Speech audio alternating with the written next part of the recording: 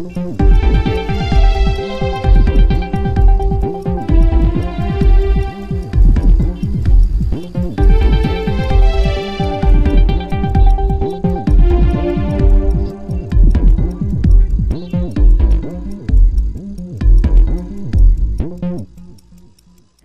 आप देख रहे हैं न्यूज़ 24 फ़र्स्ट एक्सप्रेस और मैं हूँ आपके साथ मानवी ठाकुर। शुरुआत करते हैं आज की खास खबरों से। हमीरपुर जनपद में बीमार के हीरानंद इंटर कॉलेज में राष्ट्रीय पत्रकार सुरक्षा परिषद जिला स्तरीय बैठक संगठन के प्रदेश प्रभारी अरुण कुमार की अध्यक्षता में संपन्न हुई।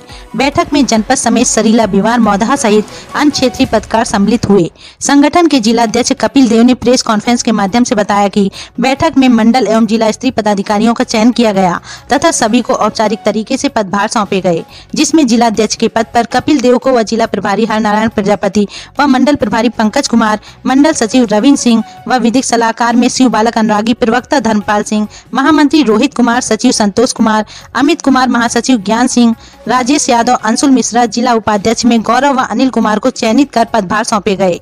सभी नवनियुक्त पदाधिकारियों का फूल माला पहनाकर स्वागत किया गया। साथ ही शपथ के उपरांत मिष्टान से सभी पदाधिकारियों का मुँह मीठा कराया गया तथा बधाई दी गई। इस दौरान सभी पत्रकार बंधुओं ने ईमानदारी व सद्भावना पूर्ण कार्य करने व संगठन को मज़बूत करने को लेकर सभा को संबोधित किया। न्यूज़ ट्वेंटी फ़र्स्ट एक्सप्रेस ऐसी राजेश यादव की खास रिपोर्ट।